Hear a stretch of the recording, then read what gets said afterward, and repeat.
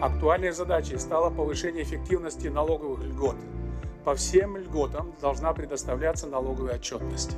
Сохранить надо те из них, которые реально стимулируют бизнес. Например, можно предусмотреть преференции инвесторам, нацеленным на развитие производства. Речь идет об единовременном вычете на строительство, приобретение, модернизацию, реконструкцию активов. Важно предусмотреть льготы для экспортеров продукции высокого передела.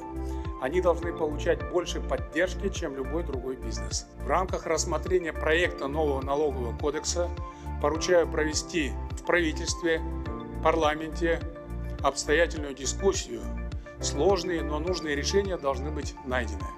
Спешка в этом вопросе недопустима, поэтому считаю возможным перенести принятие нового кодекса на следующий год, чтобы подготовить данный закон на качественном уровне.